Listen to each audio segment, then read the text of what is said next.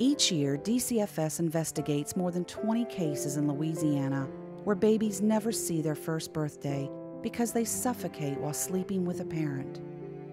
Babies need their own safe space to sleep.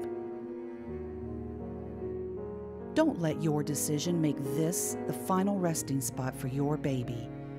DCFS urges you to learn more about safe sleeping by visiting our website